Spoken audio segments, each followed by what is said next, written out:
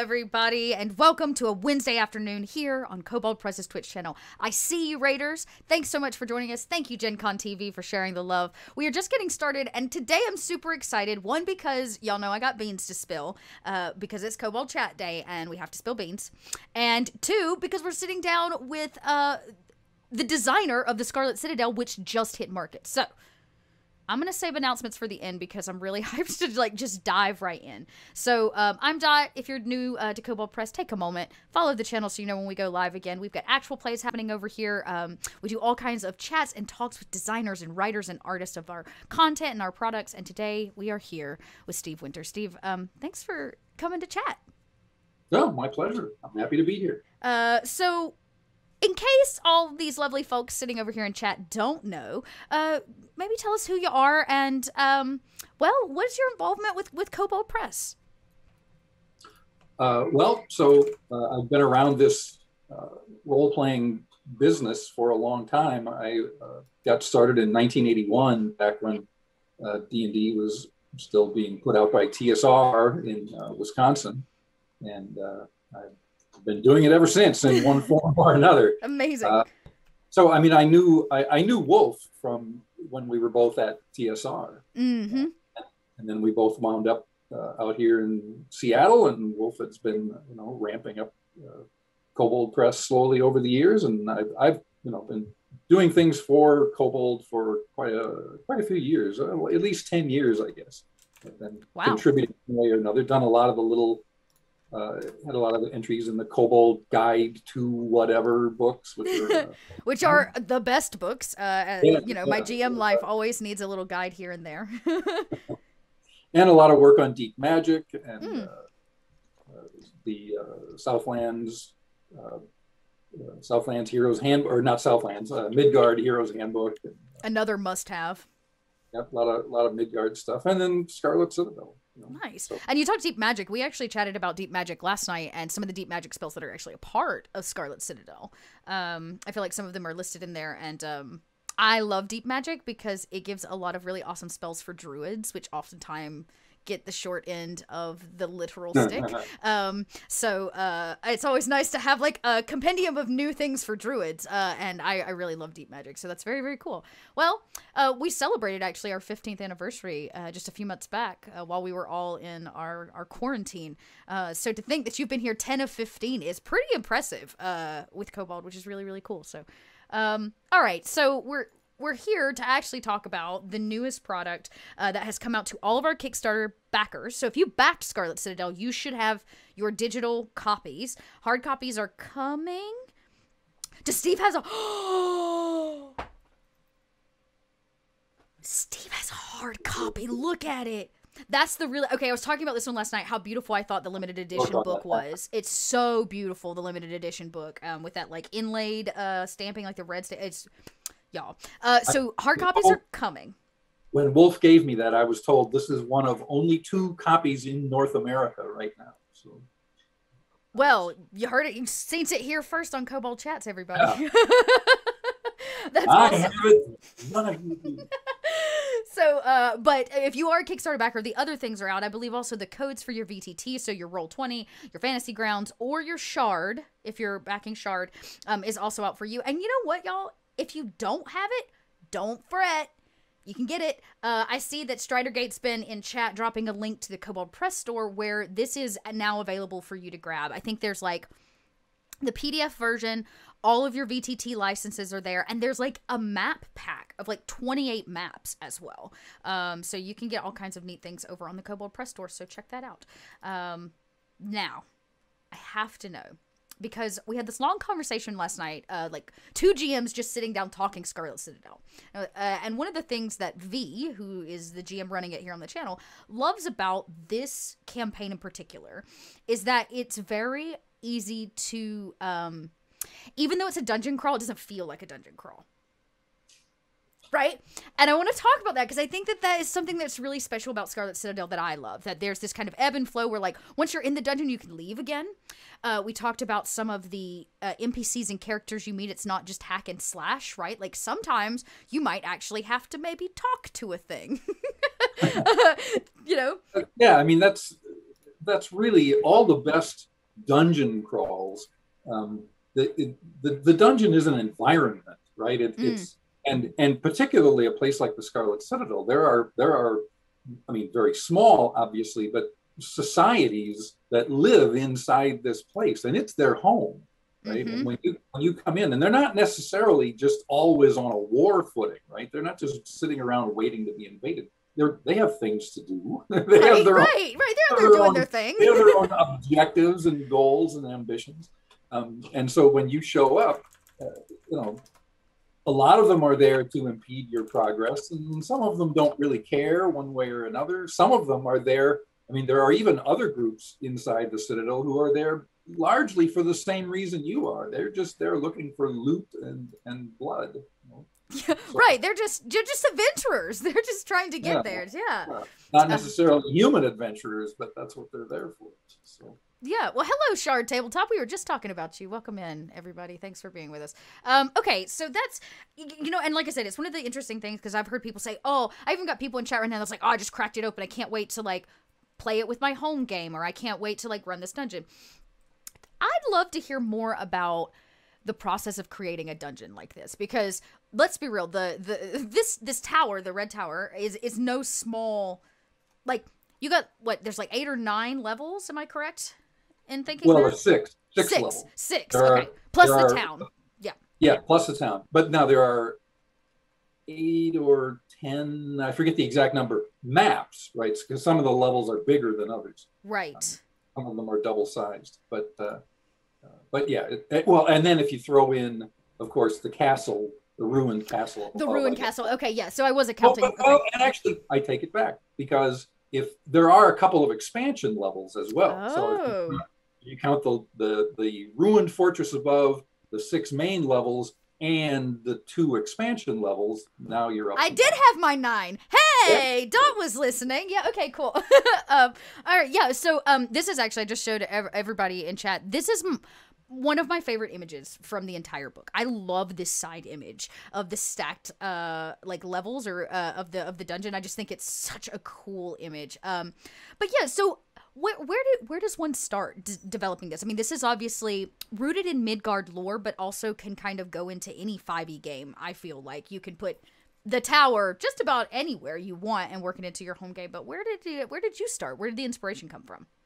Um, well, this was uh, we went about this one a, a, little bit differently from the typical design in that uh, I mean the the basic core of it came from Wolf and from Midgard, with the idea of the Scarlet Citadel as a place and the town of Red Tower as a, as a place. Mm-hmm. And a lot of the history, um, Wolf wrote up a, a, very kind of rough history of the Citadel and okay. sent that to me.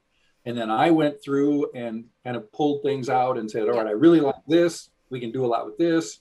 Uh, this is you know kind of vague. I don't understand where you're going. I basically they gave him a lot of notes a lot of feedback on on that idea. Um, and then working together we sort of fleshed out that outline quite a bit more. Um, uh, but then where it really and i mean that process is pretty standard for a project like this. Um, where we did it a little bit differently and this was uh, when I worked on uh, the big adventure Tomb of Annihilation for Wizards of the Coast a few years ago, one of the things we did there that was very different and that I really liked, and and so I suggested it to Wolf, and he liked the idea too, and we went with it. And that was that um, I, as a designer, did not draw the maps. Uh, oh. Really, we came up with a list of what needed to be on each level. And we turned that over to the cartographer and said, you generate the maps. Huh. Because, and this is the kind of thing that it, the friends, uh, my friends who work in video game design have said the same thing. It's when you turn something like that over, uh, I'm, I'm, man, uh, my conversation is all over the place here. No, no, you're good. This is great. I'm, I'm, I'm enthralled. This is really cool. The, the idea being like in computer games, the most of the best level designers are artists because they think visually rather wow. than mm-hmm. story, right? So you get much more dramatic looking levels when uh, they're designed by artists. and so that's kind of the idea here too. When Yeah. we turn this to a cartographer, somebody who actually thinks in terms of maps and what makes a map really interesting, Mhm. then we back. It has the elements we wanted, but you know, it's a it's as much of a surprise to me as it is to anyone else. The first time.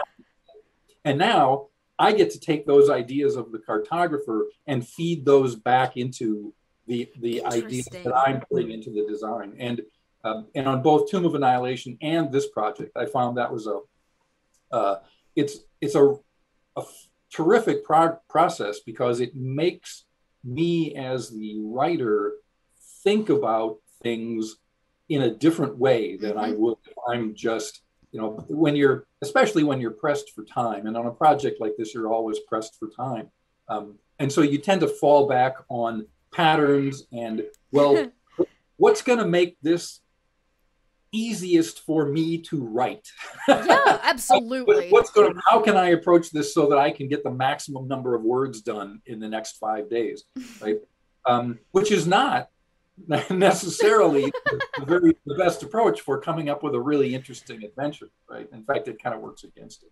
So when you're when you're feeding off of somebody else's ideas uh, and this is always true. It's been true you know going back to the earliest years i worked at tsr the, the best products come out of collaborations right? I don't really buy into the auteur theory of game design um, any more than i do in filmmaking right? Because Yeah. this, this thing that it tons of people are having input into this process and the more uh, the more you give that free reign and the more you build on each other the better it's going to be So- Yeah, I love that. That's really, really interesting. And to think that, I don't know, it almost makes more sense. Like, why wouldn't you have the cartographer be the person to like lay out and then hand it back? That almost seems like a no brainer. Um, to think that it doesn't. now that i've done yeah. a couple projects this way i like i kind of like i want to do all my projects. yeah, all of them like that. Yeah, I think that's really interesting. Uh, chat says it's kind of like a, a, creative feedback loop. Uh, you know, like back and forth and back and forth, and, and you build off of each other instead of kind of completion and passing and passing down the line,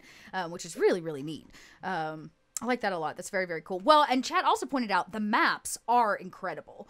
Um, the larger like maps inside of the book, uh, really. Um, yeah. No, really they're- they're- really really interesting. Last night we were talking because i had v our gm tell me like what was her favorite but there was this unanimous across the board that level two of the dungeon seems to be everybody's favorite. Um i i don't know why because i told them i didn't want spoilers since i'm actually a player in these campaign i was like please don't tell me don't tell me don't tell me. Um but level two seems to be the the the most the one that everybody's most interested in.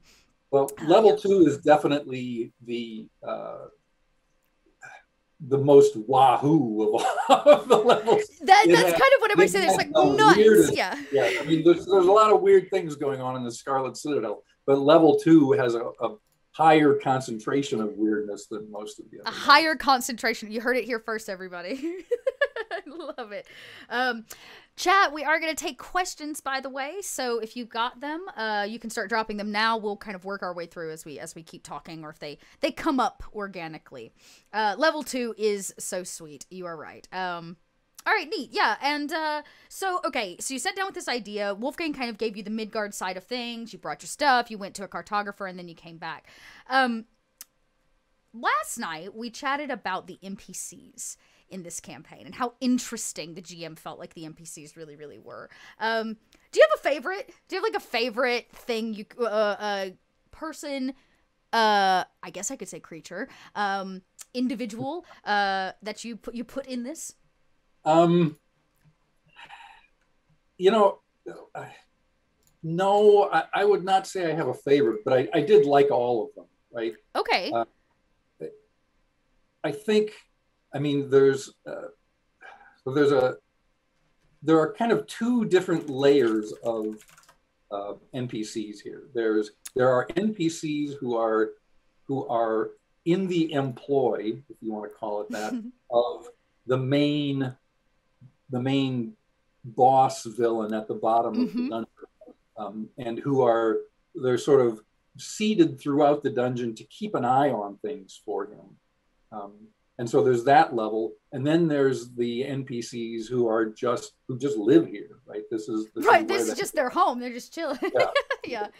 Uh, and um, I, I, guess if I had to pick one or the other, I, I kind of prefer the ones who are not related to the main villain because they have their agenda is entirely their own, right? And so you can do whatever you want with them. Um, the you know the, the the two or the three who actually work directly for the main villain, um, they're they're kind of beholden to him, obviously. Yeah. Although I had a little bit of fun with them too, in that I mean, they, they both have their own thing going on, right? Yeah. They, uh-huh. they, they work for the main villain because because he's bigger and tougher than they are, and if they if they don't kind of follow what he wants, he may not let them stay here and continue doing what they're doing. Mm-hmm. Um, gonna see if I, mean, I could pull. You know, the alchemist is a lot of fun just because she's so completely whacked out of her head. Yeah, nuts. Uh, I was actually gonna try to see if I couldn't pull up the sanatorium, some of the the images of that map in particular. And we had a great question. Uh, the maps were done by John Pintar, right? Yes. I, yes, yes.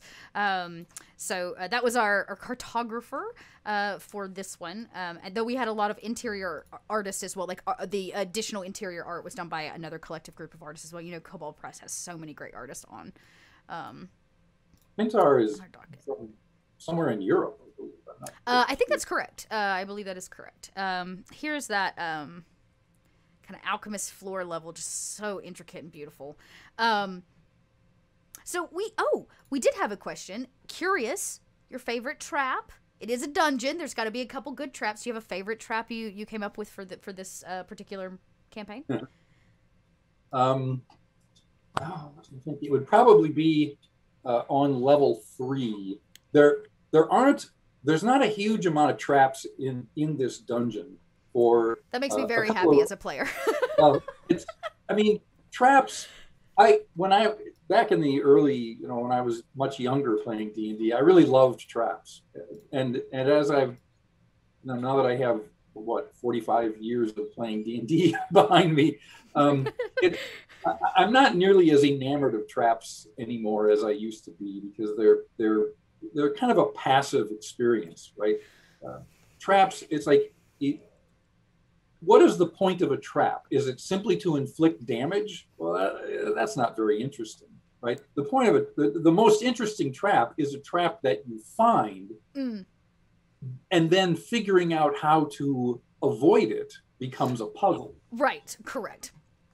Yep. Um, but I, I would say in, in Scarlet Citadel, the most interesting traps by far, I think, are on level three because level three is um, and again, I don't want to give away too many spoilers, but level three is a just a battlefield. Um, if if if there are TPKs in this dungeon, oh. and there will be, they will happen on level three, um, because level three is, I mean, almost the whole level is a death trap, but not I mean, it's not the kind of death trap you think of when you think death trap, but right. but there are those it, kinds of death there, traps. It's there. I'm not there nervous, are, Chad. Did y'all see my face? I was like, uh. oh, there are places. If you step in and trigger this trap, it's just going to knock everyone out, and then the bad guys are going to come in and cut everyone's throat, and that's the end of, of that party, right? Um, there are places where you're going to step on a plate and it's going to put a spear through you, and when you take another step, it's going to trigger a plate and drop the ceiling on you. And when you take another step, it's going to wow your head. Right? It, it's a I'm it, not nervous. It is a meat grinder. Level three is a meat grinder, and Dang. I have I had to put. Uh, I'm very proud of level three. I think it's a very cool level, but it's a very old school kind of level, and yeah. I was really worried writing it. And I have a lot of caveats to the GM at the beginning of that level saying uh, there are i'm sure there is an entire generation of gamers out there of, of d&d players who have never encountered a level like this. And they are going to approach it the way they approached level one and level two and they're going to die. Wow. no Oh. You, have got to just as GM, you're you've got to have a very upfront discussion with people at the beginning and say, you know, there are you are going to encounter things in this dungeon you cannot fight up. You cannot just do a frontal assault on. They will kill you if you do that. Um, and I mean, this is even the kind of thing where just if you go into level three and you run into trouble and you retreat to level two, that's not going to save you. They're going to chase you. The you know the things on level three want you dead, and they are going to hunt you almost to the walls of Red Tower wow. in order to, uh, to get rid of you. So uh, yeah, this is it, it's a nasty, nasty level. Well, that's really interesting because you know uh, somebody in chat here brought up the idea. Uh, I mean, and it's true. Like there is a. I'm guessing you could always retreat back to Red Tower and try to do some recuperation between floors. But hearing that that floor three is like a no go on that front. Like floor three is like a be all end all. Um, I yeah, wow. Although I will, I I also put a little bit of a safety valve in there for GMs which I'm which I'm very pleased with because there's the option that uh, if if characters acquit themselves well in the fight, even if they lose, they can be taken prisoner because the things on level three admire valor, right? Oh. So, you know, they, they may just take you prisoner and you can wind up being prisoners of these things for months. And there's a kind of a little set of a little subsystem in there for sort of befriending some of them, winning their admiration, ah. and potentially you can convince one of them to, you know, unlock you and let you escape. Or, See, now that is very cool because, I mean, TPKs are great, and as a GM, the occasional TPK is really satisfying. but, but I love this idea that there's, you know, for those tables of players that really uh, prefer a role play heavy or an opportunity to try to what I call the finagling. They like to finagle their way out of problems. Uh, that's very encouraging because I think. Uh, you know, one way is not always best way, so that's kind of cool. It's cool to hear that like you could almost end up on an entirely different adventure trying to just escape being a prisoner. Um, you know, death death is so easy. yeah, and, and like like a trap that does damage, death is not an interesting outcome in situations like this, right? You you you don't want to. If all you do is kill a character, that's the end, right? It's right. much more interesting to continually put them into worse and worse trouble. Yeah, right? yeah. Like just just dig, let them dig that hole even deeper, right? Uh, yeah, yeah I think yeah, that's so neat.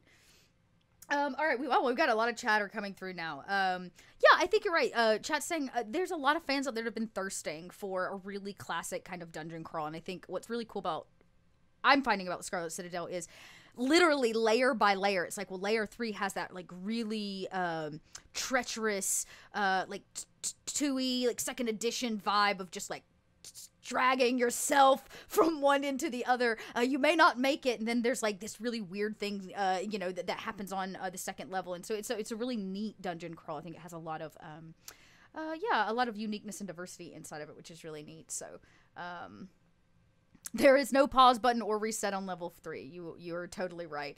Um, and for those of you that don't use VTTs, we got another great point brought up. There's a wonderful um, tutorial inside of the Roll20 pack that walks you through using the multiple layers. Uh, so you can show the hidden stuff, you can show this thing or that thing. So that's a nice little handy um, uh, addition as well.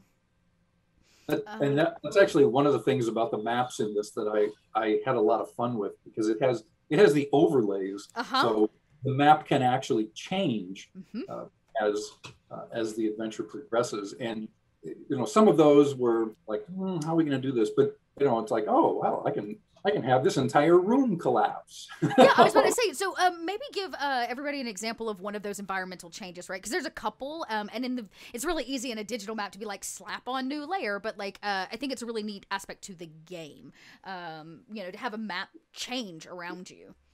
Well, and the ones that I'm the most proud of and that I'm most looking forward to actually getting to use when, uh, when I sit down to, to run this game with the big maps is there's a level where um, the things that live there brew a potion that allows them to, I think I called it a potion of augmented reality or something like that.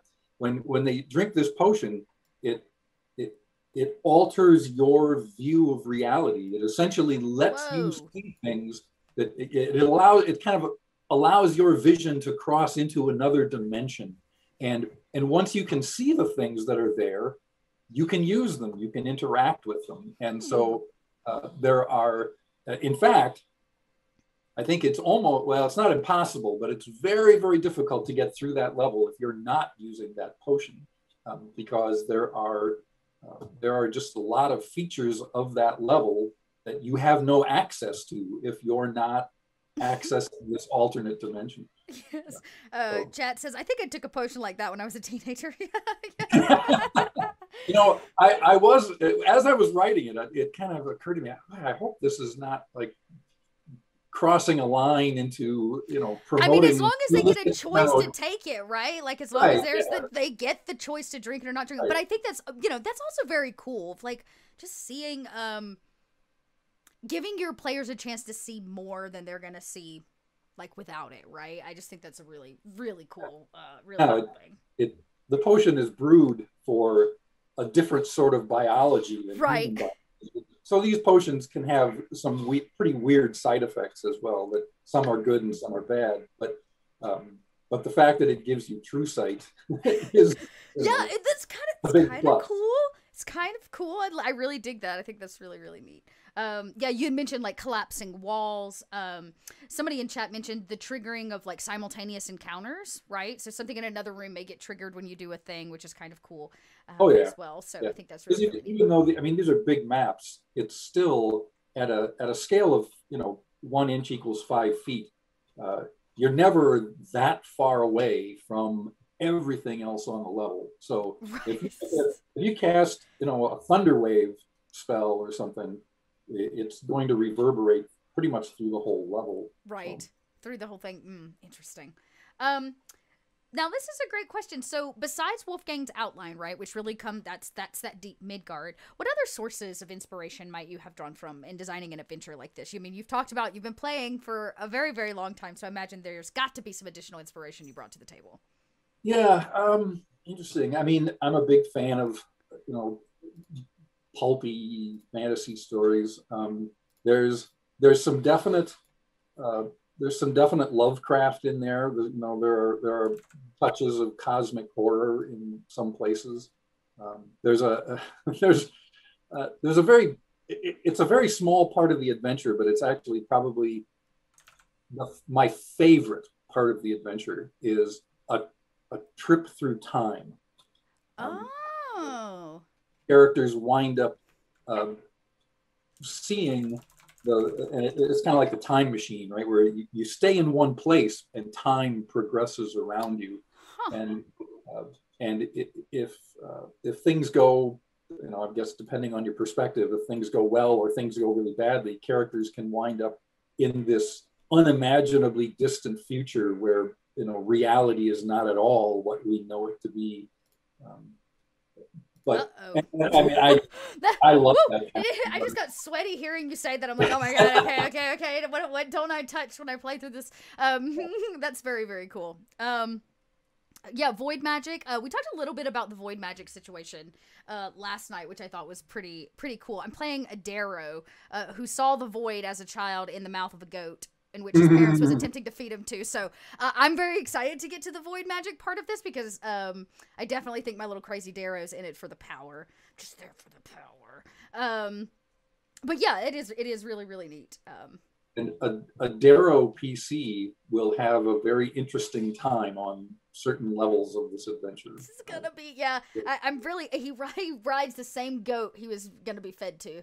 So he rides, he rides a cave. He rides the cave goat. Uh, so this it'll be very. It should be very fun. It'll be a, a neat little uh, different view because I was like, I could play a human, or I could play somebody that's like really in it for the adventure, or I could play a crazy derro who is like not exactly sure where they are most of the times, or how they even got here. Uh, it should be interesting. Yeah. Um, yeah, I uh, would. I would love to run this adventure for somebody who's playing a derro PC. Yeah, yeah, I'm playing. I I have been holding out on a derro character because I really love that race like a lot. Um, and I've played a lot of my other favorite Midgard races or like my favorite uh, Kobold Press races, including you know the erina because I got to get my Hedgehog folk in there. But um, I felt like of all the campaigns that I could possibly run a derro in, this had to be this had to be the one. I was like, this one deserves a derro character. So we've got all kinds. We got a piney, we got a mushroom folk that's going down there. Um, yeah, it's gonna be. We've got gearforged. It's a very strange, uh, and a Oh. Tabaxi. I think it's a very strange group uh, that is seeking out Yeah. the secrets of the Some of them, they're gonna they're gonna be walking into a situation where it's gonna be like, well, on this level, I feel right at home, and all the rest of you are prey. Yeah, yeah, exactly. the rest of you are done for. Uh, so yeah, it it's very cool. It should be it should be a lot of a lot of fun actually. Um, so yes, uh, so time travel. There are a few items, correct? Like timey wimey items. I know there's the potion. I was looking through some of the magic items last night. We kind of got into this, but sh- I didn't want to spoil anything. Uh, but I'm gonna do it anyways. Um, because I've got it in front of me. So there are a couple really cool magic items. Do you have a favorite magic item that was like brought into this specifically? Mm, boy, I'd have to refresh I my was about memory. to say I'm looking because I mean, okay, so okay, there are a few timey wimey items, right? Yeah. There's like the time, the time construct. Um, yeah, there's Um, also a, a couple other really cool. the uh, let's see. Well, yeah, the I, I would say my favorite magic item of all of them is the the, the potion of gelatinous form, um, because that's just, you know a potion that turns you into ooze is just too cool to that is use. very cool. Plus, I mean, like think about think about the escape options. Like I'm immediately like, how could I use it? Like you could. If stuff's getting really bad, you could flush yourself. You know what I mean? You could, Mhm. you could get out. That's the that's very very cool. I like that. Um, tight spaces. There, there. I knew there were a couple of weapons. There's like the unquiet dagger, which I thought was really really interesting. Um, Yes, that's and again that's a, a you know as it has ties to uh, to Leng, which is you know, again uh, one of those weird sort of cosmic horror Uh-huh. kind of things. So uh, yeah, the the unquiet dagger is a definite uh, you know yeah, I pros like that using using that weapon. And I, I really when I design magic items, um, I am not a power gamer at all.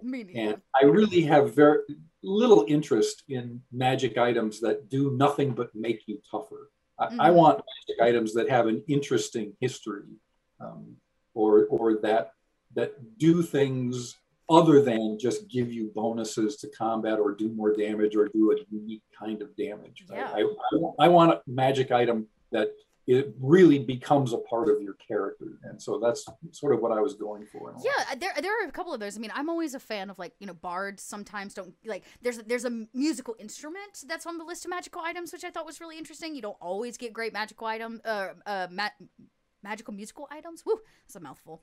um, there's a there's a pickaxe, right? A war pick or something like that. I think Yeah, the, the, the, a dwarven, uh, a dwarven warhammer, or dwarven war pick. A war pick, yeah, very cool. Um, I thought that was a really really neat one too. And then we had a we had a, a lot of jokes last night about the Black River, which of course is like a whole a whole thing, or like the that's what it's called, right? The Black River. Um, Yep. uh, I didn't I didn't get it right. I remembered. Um, and then jokes uh abounded uh regarding the what you. literal, the literal river. It's a ley line and it's a shadow road. So it has. Oh, a it is a shadow road. Okay, so here's I'm Well, running. yeah. I'm I mean, they- running shadow courts of Shadowfey right now. That's Yeah. very interesting to know. Um, I did not know that. Ooh, so, stay out of the river, y'all. That makes it a that makes it a real crossroads of weirdness. Though. Yeah, so we were joking about what you could brew up out of the black, like what you what you could what kind of drinks could you possibly brew up using using uh and there were a lot of jokes, but and then come to find out there is a literal scarlet mead uh in the game. Uh so, you know, drinks abound. Um Yeah. drinks That abound. level, that uh, the Black River level, is also where there are one of the. Uh, again, it was something I've I've wanted to do for a while, and I finally got a chance to do it there. With because you go into dungeons and you know ancient crypts, and they're full of undead, and you just go in and you kill them all, right? You destroy them all. Um, and but this is an area where there are undead. There's not necessarily a lot of them, but there there are enough, and uh, and they don't like each other, and you Oh. ac- you actually kind of step into this ancient war between two groups of undead, and it's like you sort of need to pick sides and help one against oh, the other. No, you have to. You have, you must choose a side. Well, oh, that's a way to split a party really fast. It's like, whose side are you on? And if everybody doesn't choose the one side, man, oh man, uh, ooh, ooh, um, and it's not like either one of them is is very good or admirable. right, right. They're all kind of bad actors, but uh, you, if you don't, you, you really can't stay neutral. I mean, I guess you can, but you're not going to come out of it very well. yeah, no, for sure not. Yeah, why kill undead when you can let them kill each other? Says Chat. yeah, well, if you just stand back and let them do the fighting, then when it's all over, the victor, whoever wins, is not going to have any good feelings toward you. So no, definitely not. Uh, you, you want to be on the winning side of that of that conflict. Right. Okay, so this will be my last question before we start taking any last ones from the audience. But this is one uh, that came up last night uh, because V V talked about it, and then everybody in chat was like, "Yeah, what's with that?" Okay, we got to talk about Bezoars. That's how you say that the the the Bezor B E Z O A O R S, right? And isn't that what it's called? Am I crazy? You're looking at me like I'm crazy. yeah, the Bezoars. Um, uh, which is like the witch's walk, right? Uh, so I don't know all the things there is to know. Um, I don't know. It's a, it's like a consumable magical item, right? It's kind of like a potion. Is this the one you were talking about earlier? No, no, this is something else. This is actually I didn't write this section. Oh, really? Okay, okay. So we have been we've been pontificating about like what person, what crazy person came up with this this crazy idea, right? Because it's um yeah, so okay, this is interesting. I, am not, I'm not sure who came up with this. This was this was an add-on. This was um, one of the Kickstarter add-ons, I think. I, I probably came from Wolf. I was about to say I'm I'll be honest, it feels like a Wolfgang thing, and I can tell you why. From this one line right here, it screams Wolfgang to me. Okay, so it is a consumable magical item. We know that much. Kind of like a potion. You swallow it and you gain all I of these effects. because you can give them away freely. Me too. I actually I like consumables that have a purpose. Kind of the way you were talking about magical items. Like I really love consumables that feed to the story because like I can give you a ton of like like healing potions, but something like this is way more interesting. Okay, I, I, I would, I, you're right. I would put money on the fact that Wolfgang wrote this. Ba- it can be removed, so the Bezoar can be removed prior to its full duration with a wisdom check, a medicine check, but still deals a secondary damage as you regurgitate it. that is a Wolfgang line if I ever heard it. A partially used Bezoar recharges itself after being out of the body for 24 hours. So, if I'm correct, this thing is like it's like a parasite. It like lives in the body, right? Sounds about right. Yeah. Bezoar. Bezoar. Thank you, Bertman. I appreciate that. Bezoar. Um, yeah. yeah, and that's kind of the same thing as a cat hairball. yeah, yeah.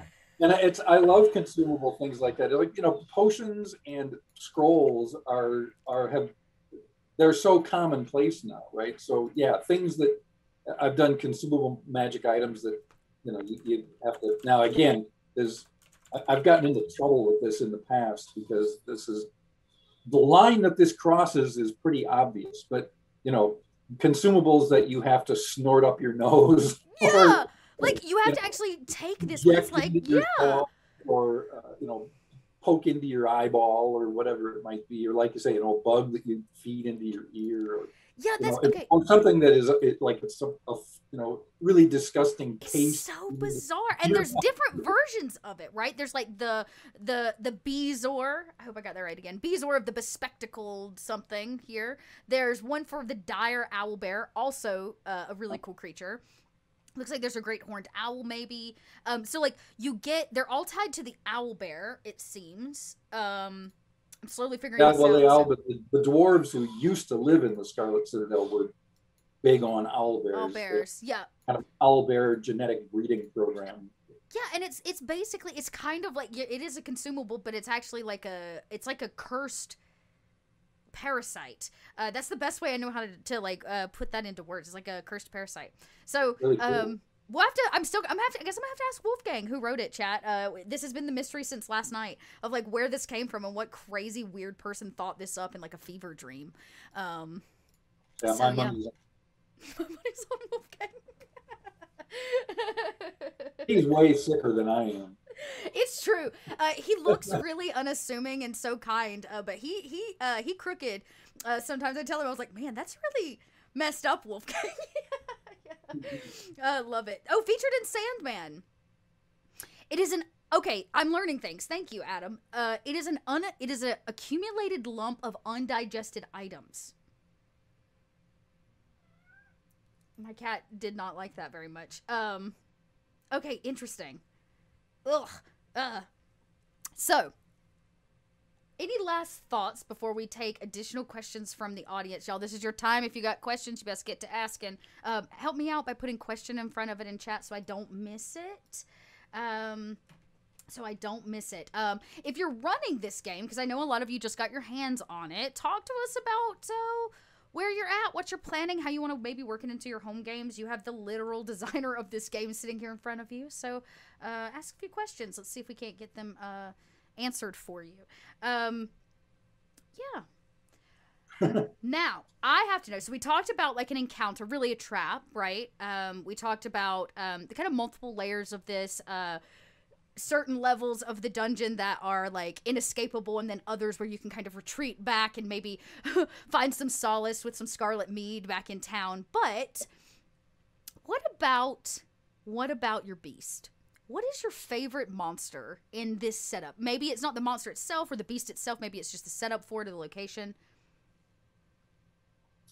um off the top of my head there's a there's an ogre on level one that I really had fun with it. I, I got a chance to run this uh, a little bit of the adventure at a oh. convention to a couple of weeks ago down in Dallas, uh, the North Texas RPG Con, and I, I, ran a little bit of this for some friends. And um, the ogre on on the first level, who is, uh, I mean, he's a, a vicious, he, vicious monster, but at the same time, he is uh, he's a, a victim of the the main villain on that level, who ah. and this ogre has been uh, subjected to you know unimaginable amounts of, of abuse and pain, and uh, there is a way if if first level characters have to fight this, then the second level characters have to fight this ogre. They're they're just gonna get massacred. Um, but there is a way uh, to uh, to avoid that if mm. you you know, by essentially by being kind to him. Now, it, it's not enough to just be nice to him, right? Because you have I to will be shower him with cupcakes. Do not. Right. No, I will. I will. You, you, need to be nice to him in very specific ways, um, which means that you you you know you can't just walk up and you know offer your hand and say, "Hey, let's be friends." That's not going to work. But um, but if you if you find the right items on the level and you, you know, uh, deal with this ogre in the proper ways, you can. You're not going to make a friend of him, but you can at least avoid having you can you can avoid getting killed. Getting killed, yeah, yeah, not smashed to bits and turned into yeah. jam. Yeah. yeah. and then you know use your use your resources to fight the the guy who's really the problem. right. Level. So, so I, I quite like, and it's just a, the ogre is, I mean, it's a scarlet ogre. It's a standard monster out of the Tome of Beasts, I think. Um, so, Tome of Beast, another great book for your. Yeah, yeah. But again, it's an example of you know giving giving a monster a personality and and some story. Yeah. That and that allows it to be something that you interact with on a level beyond just stabbing it. Yeah, yeah, I, I like. Uh, I, I was talking to V about that last night. It's actually one of the things that I think draws me most to this. Like, I have GM'd a lot of dungeon crawls that are really just like, like Tomb of Annihilation, right? Y'all, right? Okay, dungeon. Uh, there's nothing like showing up back at the beginning naked as a jaybird, right? So like, um, there's there's like, there's dungeon crawls, and then there's something like this that it is by all standard definition a dungeon crawl but I adore the way that it turns a lot of things a little bit on its head. Like this idea that the ogre has a personality and like most of the time you don't even question why the ogre is there. You're just going to try to kill that ogre. But the idea that this ogre is kind not against his will, but like he he he has some problems. Like you might be able to help this poor ogre out or this idea of like level three is harsh. You could just TPK the party, or you can go throw their butts into prison and let them like suss this situation out um, over an extended period of time, right? Mm-hmm. Um, so I really, I just really, really, uh, really like that. Um, but again, it, it all goes back to the idea of the dungeon is a living environment. The, the dungeon is a society, right? It's really no different from the surface world, except that there's no sunlight. right. Yeah.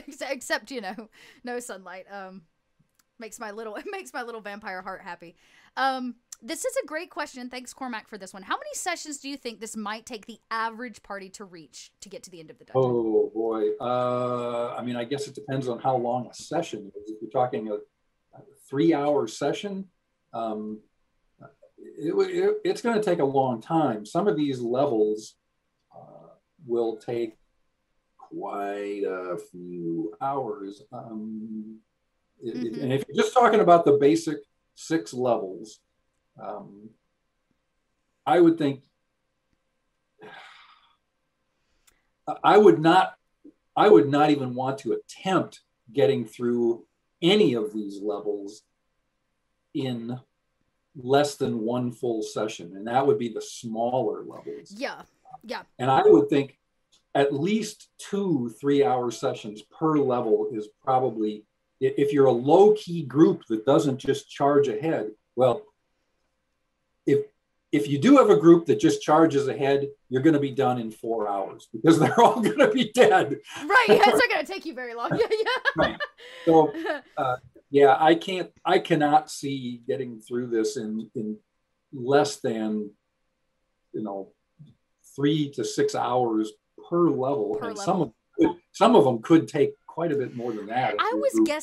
Guessing just like because I was looking, I was like, hmm, what if I run this for my private group? And I was kind of looking over. I'm gonna guess it's gonna take 12 to 15 sittings at two to three hours yeah. piece. Yeah, like just I, based on the way people role play now and shenanigans, which you have to start accounting for, like you got to account for as a GM. Um, yeah. The fact that everybody could TPK on level three, knowing that now's like, okay, now we might have to be rebuild characters, or we're gonna do a month time skip and go this opposite direction. You know, um, I would say somewhere between 12 and 15 sessions. I think that's a good that's a good estimate. So, no, uh, don't hold me to that, chat. Or do you can come back and tell me I was wrong. I'm I'm used to it by now. Um, and I would add that if if people, I mean, if they really want to focus on the Scarlet Citadel and not do any side adventures around, then GMs are you're almost going to have to use milestone advancement rather yes. than. Characters won't get enough XP to reach level 10. Correct. Just by delving in Scarlet Citadel. Yeah. So we do now, include stones in there. This that. next one we kind of covered, but um, I'll ask it though because I definitely think it's an important one. Are there opportunities for role playing throughout the dungeon, or is it mostly focused on combat? And there are. There are like these little nuggets, right? Oh yeah, there's the, it, it, yeah a, a party that does not interact with the monsters, that does not role play and talk and I mean, like on, I'll throw in level four. There, there are things going on on level four that are not even remotely obvious to a group that just comes in and starts killing things. Yeah. Um, it's another situation where there are, there are actually multiple, you know, there are three factions on that level and none of them like each other very much. And all of them are big enough to crush the PCs yeah. if they don't go in there and make an ally of one of those groups to aid them against the other ones, yeah. which any of the three groups are reasonably happy to do because they all want to take over the level and run it for themselves. Now, eventually, you're going to have to deal with the weakened remnants of your allies. Right. it's also conceivable that you know if if players are clever, that, that you know after they've you know, erected a new king on level four that they can just shake hands and go on their merry way, right? Yeah. Hmm. But yeah, anyone again, much like level three, it's a very, very different situation from level three. But anyone who just charges into that level is going to just unite these feuding factions against themselves and get absolutely steamrollered. And a little bit of a spoiler here: the problem with that uh, is unlike level three, level three retreat is not only an option, retreat is going to be a necessity on level three. Um, players are going to have to pull back and regroup and make multiple forays into level three. Level four, it's a cutoff. When you go from level three to level four, it becomes almost impossible to retreat. So you have wow. got you have got to deal with level four on its own terms because uh, there is there is no alternative. Wow. I'm getting nervous again, y'all. Um, as we kind of wrap up here, uh, so yes, we're hearing that there are multiple role play opportunities. In fact, it's kind of encouraged um, and necessary for your party to possibly like not TPK out too quickly. But this is a really interesting question too, because this happens.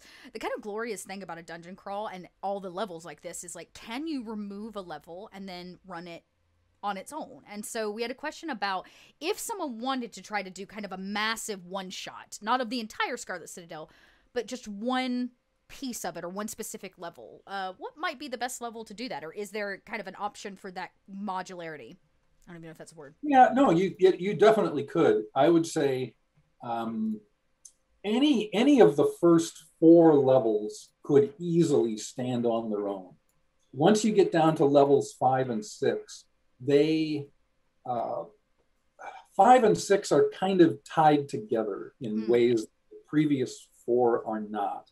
Um, like level level six without level five doesn't make a lot of sense, and level five without level six, you could do that. You could do five without six, but it, it, wouldn't really feel complete. Mm-hmm. You'd, you'd have to fill in some gaps, and it's like why why are these people here anyway?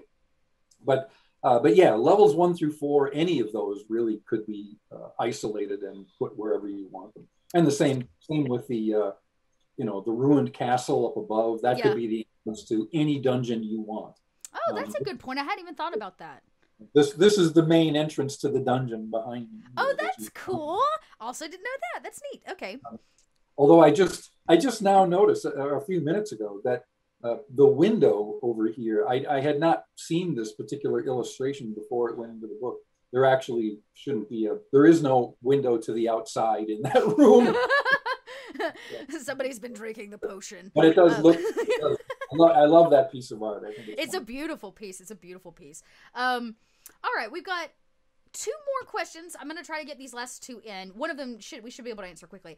Um, starting at first level, what level should the group uh, kind of ideally achieve by ending everything through the campaign? So, like, what is the level suggestion for for this? this yeah, campaign? the um the it, it's geared for levels one through ten. By the time they get down wow. to the they're they're gonna the things that they're dealing with on the bottom level are gonna require some pretty powerful yeah. characters. Now, one of the things with D and D is that when you say level, you give a level like that.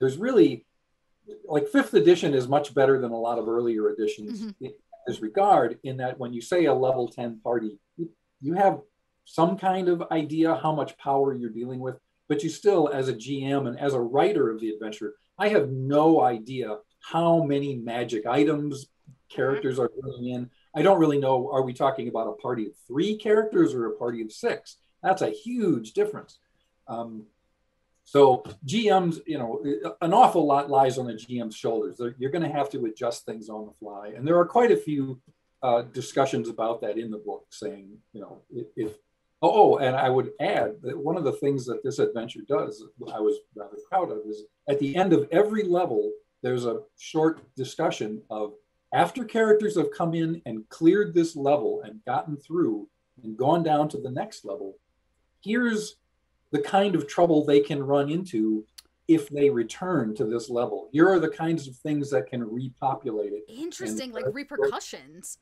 Yeah, yeah. So just because you, oh. you know, if you went through level three and you managed to clear it out and make it to level four, and you're down on level four for a few days, and now you come back, eh, that doesn't mean level three is still going to be empty. oh, there are. Oh back in. I like that the idea that there's kind of like this natural ecosystem inside of the tower. Um, it's still churning, even though like you may have cleared it, but the dust is still going to settle, right? You're going to come back, it's going to be right. dusty again. Uh, so that's that's. There are there are even a few things that will kind of hide and let you go by. Yeah. You know, to in order to get you on your way out again when you're they assume you'll be a lot weaker. Huh. Um, all right. Our final question, and I really love this one. I think it's the perfect like wrap up question for you as the designer. What design lessons did you learn in writing this particular dungeon delve? uh, well, one of them is the lesson I learn every on every writing project, which is, you know, get started putting words on paper as soon as possible.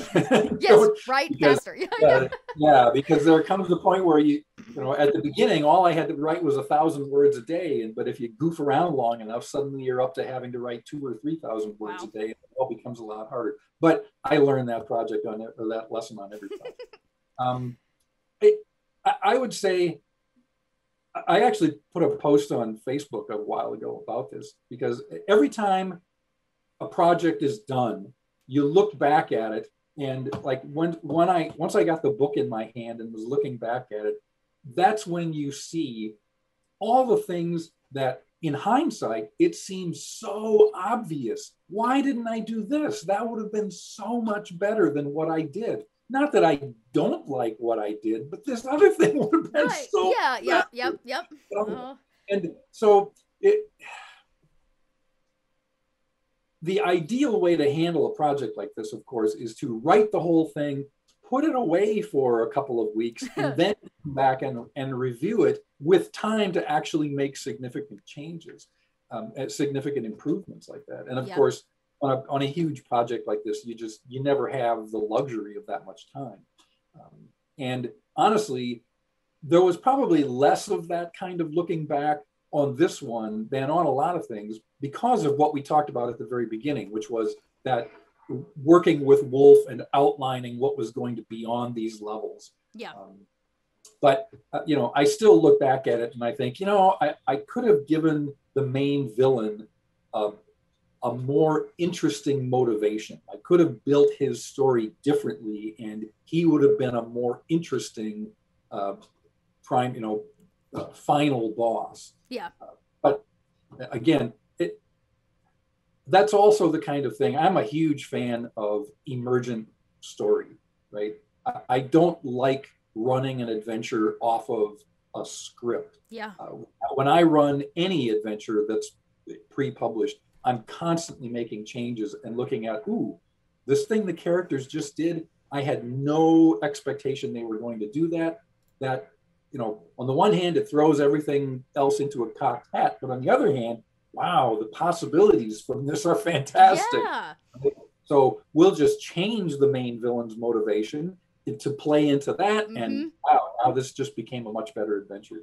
So I hope that GMs approach it with that idea and don't feel, you know, tied to right. the words on the paper, and they can say, ah, this ah. main villain this main villain would be much more interesting if he did this in response to something mm-hmm. the player did that Steve Winter did not foresee them doing.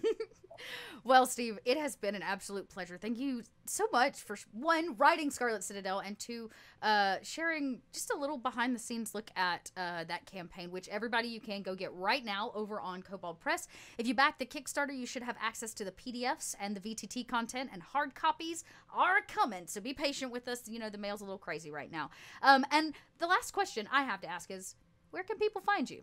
What you doing? What you working on when you're not uh, over here uh, on Kobold Press? Um, yeah, I, uh, in terms of, I mean, my social media presence anymore is primarily listed, limited to Facebook because I just don't have time to keep up with you know every uh, uh, every other social media channel out there. But I'm just yeah. Stephen Winter on Facebook, and I'm happy to, uh, and, and I mostly use it just to post you know random idiotic thoughts that pop into my head. I was about to say, well, you already told us that you made a post about one of the topics we were just talking on, so everybody can go check that out and find it um, as well.